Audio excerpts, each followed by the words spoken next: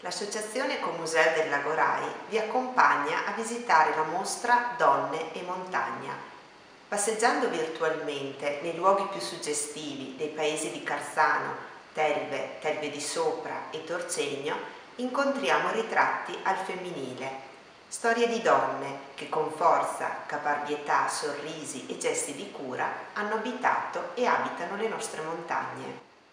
Le foto ci conducono sul territorio alpino e raccontano la molteplicità di azioni, impegni, passioni ed emozioni che stanno dietro questi volti al femminile.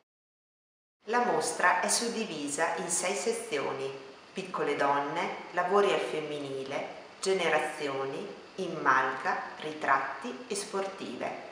Vi auguro una felice passeggiata virtuale fatta di ricordi, sensazioni ed emozioni che spero queste foto vi susciteranno.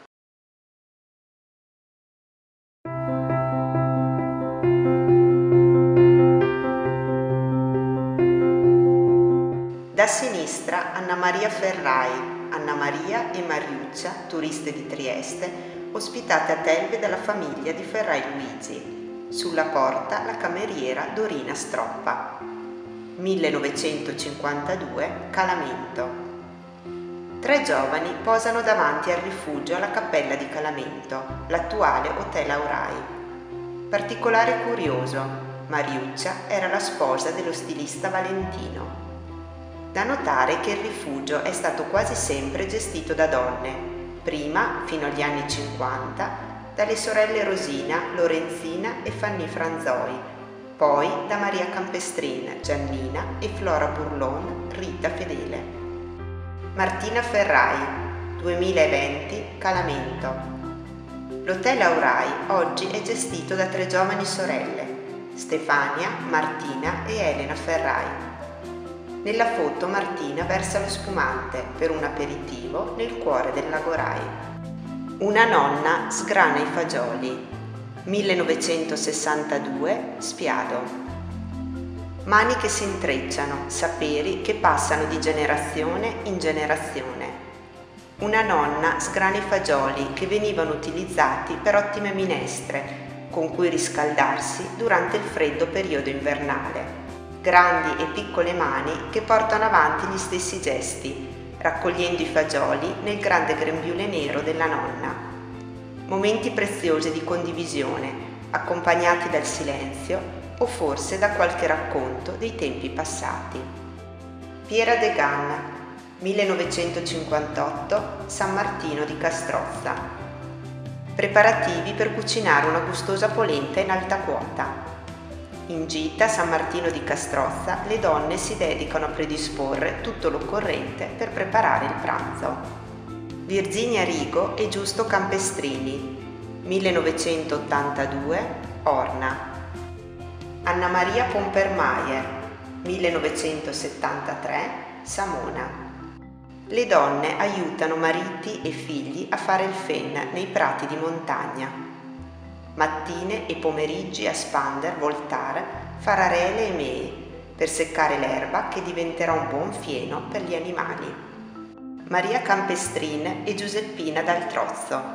Inizio anni 70, su Erta. Dritto e rovescio con i ferri, alto e basso con l'uncinetto. Sedute su una panca di legno su uno sgabelo, Maria e Giuseppina si dedicano all'arte del fare la maglia. Indossano il grembiale e la tipica telara e grazie al tempo disteso che si vive nello stare a monte, sono immerse nel loro lavoro mentre gli uomini sullo sfondo sono occupati nello sfalcio dell'erba e i bambini giocano. Da destra Dario del Castagnier, Zaira del Castagnier e Elio Furlan. Fine anni 40, Siverana. Anche Zaira sferruzza, affiancata dal fratello Dario, mentre il futuro marito Elio la osserva sdraiato sul prato. Anna Paternolli, anni 20, Casa Bolenghetta, Preparazione delle scese per il focolare. Anna, con il manerotto, prepara la legna per accendere il fuoco utile a riscaldarsi, a cucinare, ma anche elemento di compagnia col suo crepitio. Bice Campestrini, anni 70, Torcegno. Cura degli animali. Bice guarda le sue galline che ricambiano lo sguardo, sembra conversare affettuosamente con loro. Vittoria Palù, 1938, Pralongo. Il lavoro nei boschi, soprattutto quando si tratta di recuperare le ramaglie, viene praticato anche dalle donne. Vittoria Palù, assieme al marito ed altri uomini del paese, si adopera per recuperare la legna per la scuola elementare di Torcegno. Infermeria ad alta quota Herta Miller House. Tra le figure femminili che fanno parte della storia del nostro territorio, ricordiamo l'infermiera austriaca Herta Miller, impegnata con il marito medico sulle montagne del lago Rai nell'assistenza dei feriti durante la Prima Guerra Mondiale. L'infermeria ad alta quota Herta Miller House realizzata alla fine del 1916 dai militari austriaci sulla cresta che da quota 2300 metri dirige verso la cima del Bortolo, è dedicata a lei, crocerossina e moglie del colonnello medico imperiale Miller. Nel dicembre 1916 una valanga travolge e uccide 96 militari asburgici e prigionieri russi a Val Solera. Tra le vittime anche il medico Miller, mentre Herta viene estratta viva dalla neve, ma l'esperienza tragica ne compromette per sempre la salute mentale.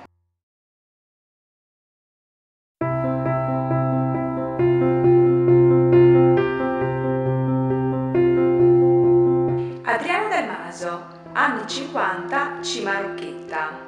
Dove andrà Adriana con tanta tenacia?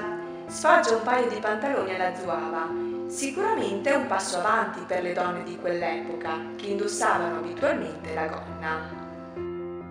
Maria Teresa Rampellotto, 1965, Sasso Rotto. Salita impervia anche per Maria Teresa Rampellotto, che conquista con orgoglio la cima del Sasso Rotto. Giuliana della Rosa, anni 70, Cagnon, Calamento.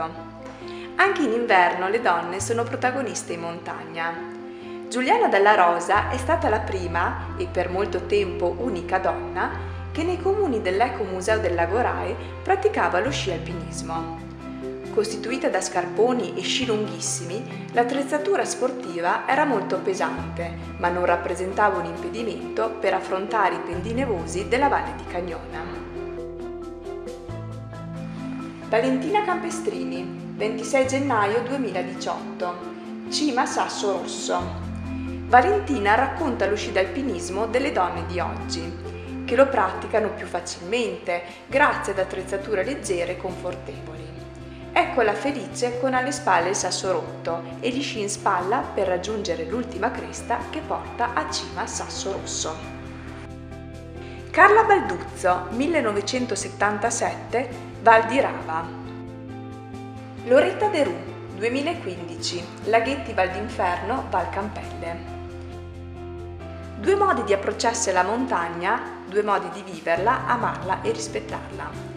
Carla, con un grande zaino sulle spalle, parte per un'escursione in alta quota, dove la fatica del percorso è annullata dalle bellezze dei paesaggi montani che incontra.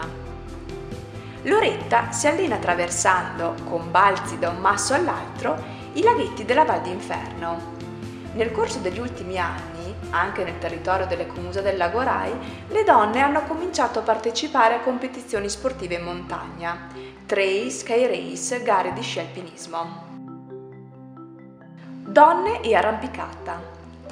Carla Balduzzo, 1992, Lago Rai.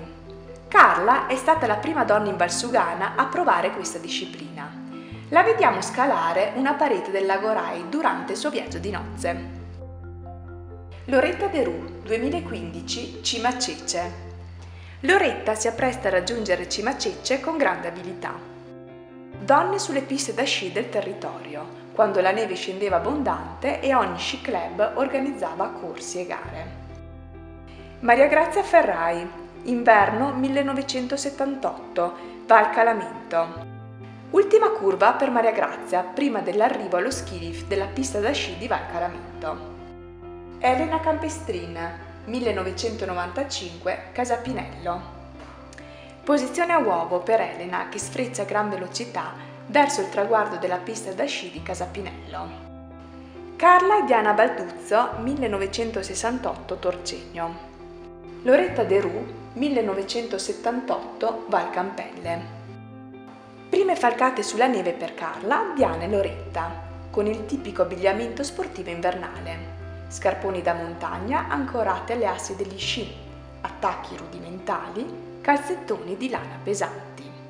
Pronti, attenti, via imparare lo sci d'alpinismo. Un gruppo di donne a Marga Sette Selle, 18 ottobre 1937, Sette Selle. Con gonna, calzettone di lana e scarponi, aiutate da un bastone di legno, alcune donne nell'ottobre del 1937 giungono sorridenti ai piedi di Marga Sette Selle. Sarà stata la meta della loro escursione o saranno dirette sul Sasso Rotto? Una montagna aspra e impegnativa da raggiungere, per questo meta ambita. Marisa Trentina, 29 giugno 1963 Sasso rotto. Marisa Trentin nel 1963 ritratta i piedi della parete. Sappiamo che conquisterà poi la cima.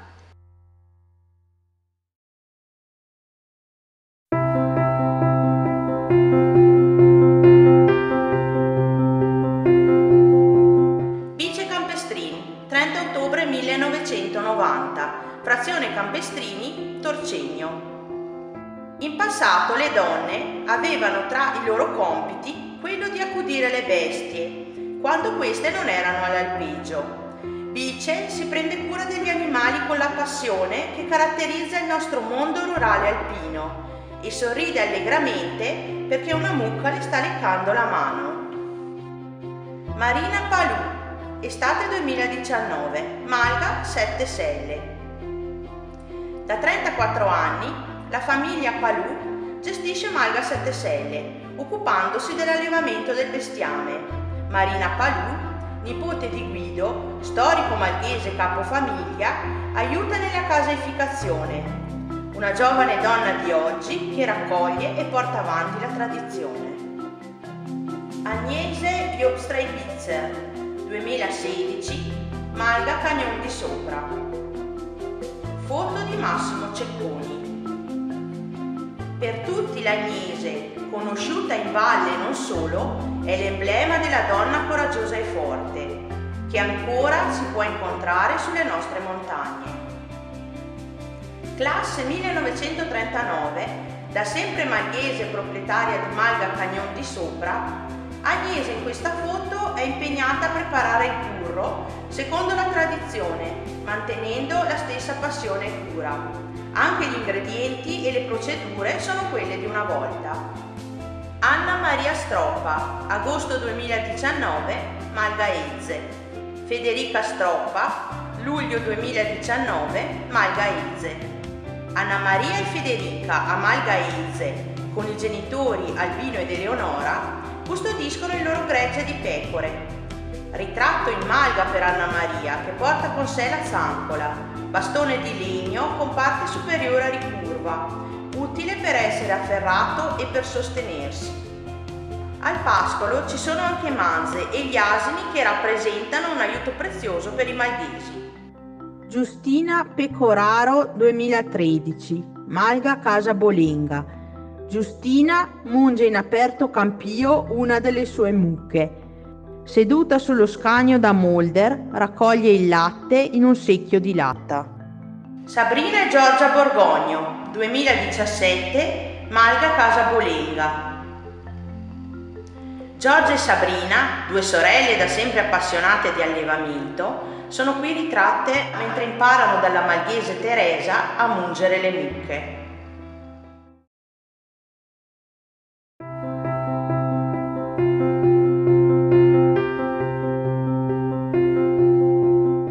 Marcellina, Rita, Tomasina e Rodolfo Ropelato Casanova, 1938 Calamento.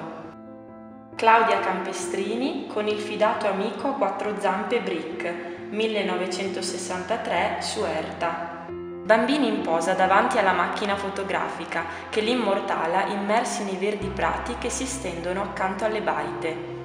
I bambini trascorrevano gran parte dell'estate in montagna con le loro famiglie. È convinzione comune, ripetuta anche dalle nonne di oggi, che l'aria de monte la che fa bene ai popi e che ghè aria fina e i tosetti i mette su guanciotte belle rosse.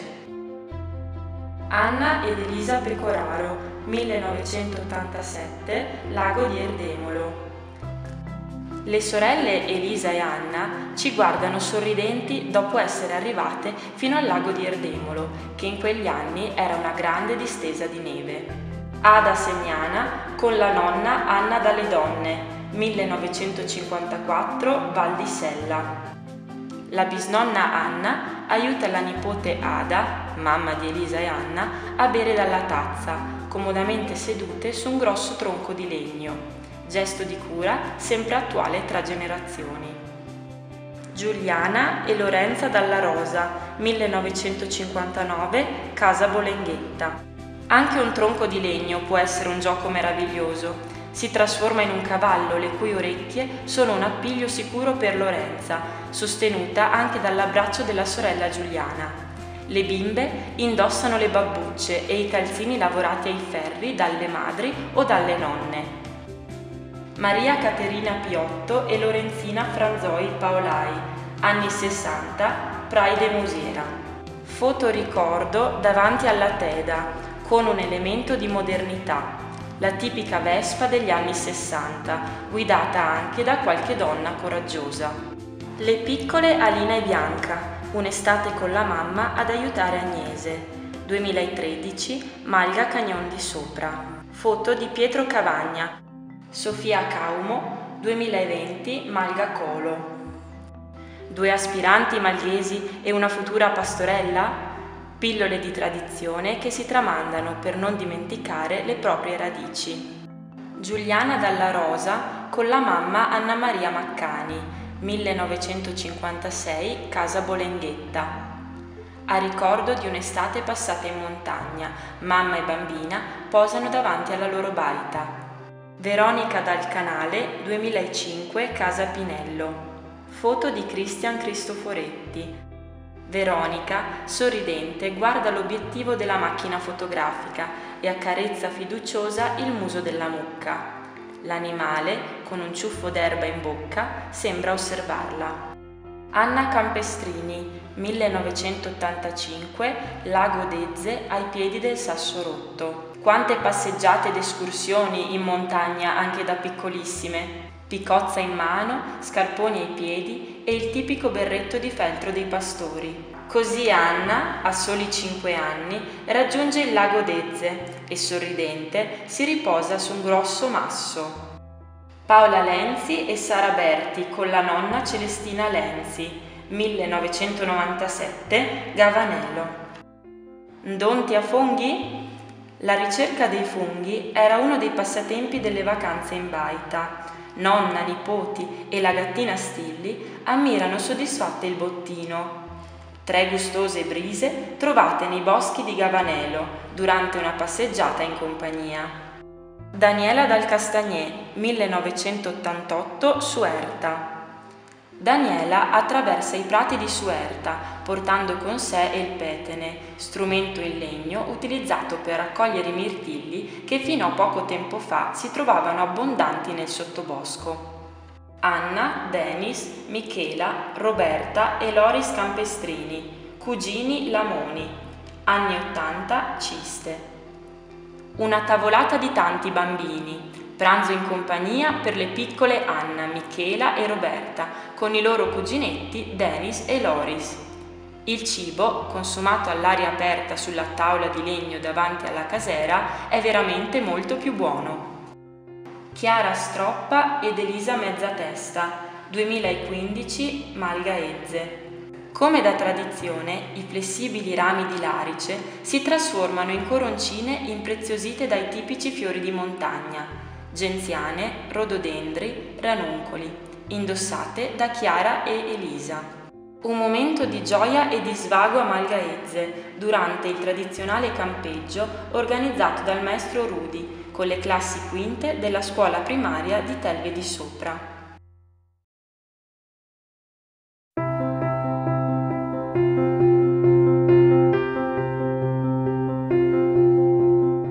Famiglia Ferrai IV e Maria Crestani, 1926 Calamento. Spaccato di vita in montagna della famiglia di Ferrai IV, Maria dei Crestani e dei parenti battisti.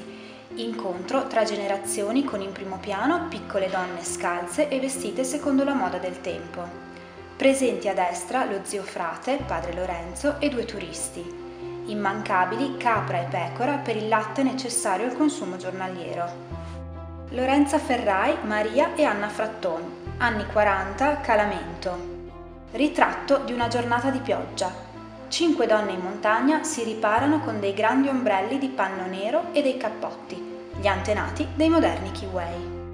Malghesi e proprietari del bestiame a fine stagione, 1 settembre 1938, Malga Valsorda II.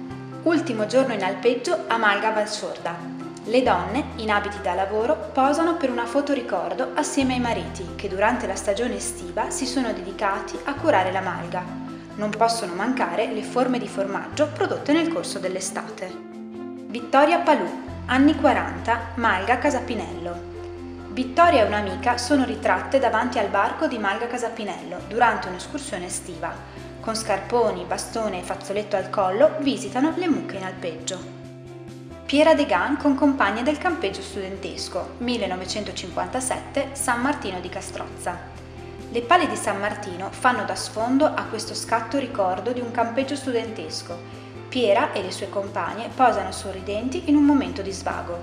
Tutte le donne indossano i pantaloni lunghi. Era tassativo per le gite in montagna. Un gruppo di giovani donne, sullo sfondo Castel San Pietro, anni 30, località Auseri, Torcemio.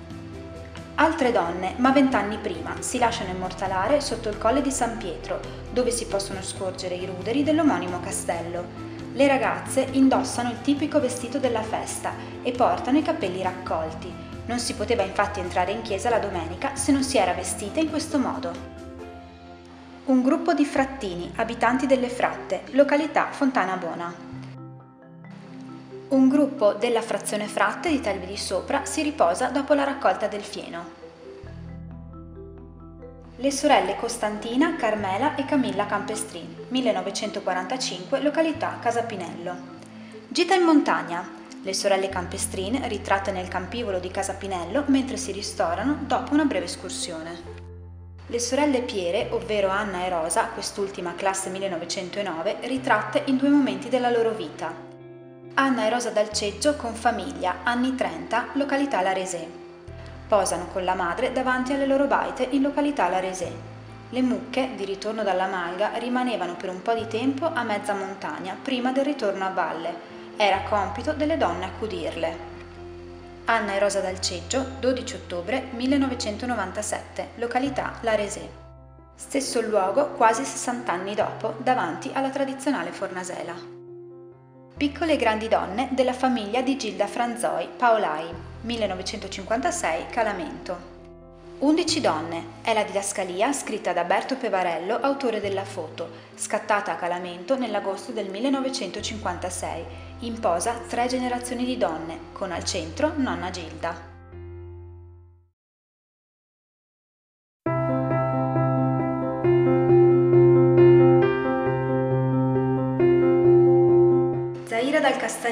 Fine anni 40, Siverana.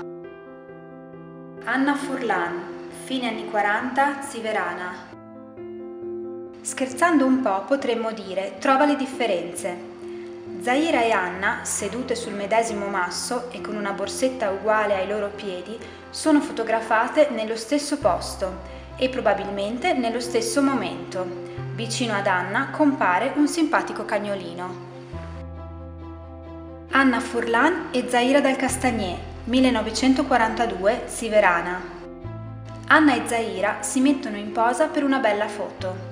Sedute su dei massi davanti alle mucche al pascolo, portano con sé un bastone in legno per la camminata. e indossano un vestito e una camicetta con gonna. Un abbigliamento tipico delle donne in montagna negli anni 40, ben diverso da quello indossato ai giorni nostri. Rosalbina Trentin, fine anni 50, Malga Casabolenga. Istantanea di una giornata tra amici. Rosalbina si disseta con l'acqua di una fontanella dopo aver raggiunto a piedi Casabolenga da Telve di Sopra. Cesira Rigo, agosto 1947, Cervinia. Cesira Rigo, emigrata in Svizzera negli anni 40 per lavorare come domestica, manda questa foto al futuro marito Dario. Si fa ritrarre sulle montagne di Cervinia con un binocolo e sembra guardare verso l'orizzonte, verso altre montagne, quelle del suo amato Torcenio. Scrive sul retro della foto: Mi riconosci? Giuseppina Nardelli in Conte, 1934, Malga La Boschio. Giuseppina è ritratta in questa fotografia con lo sguardo rivolto verso il paesaggio montano circostante e con la Malga La Boschio alle sue spalle.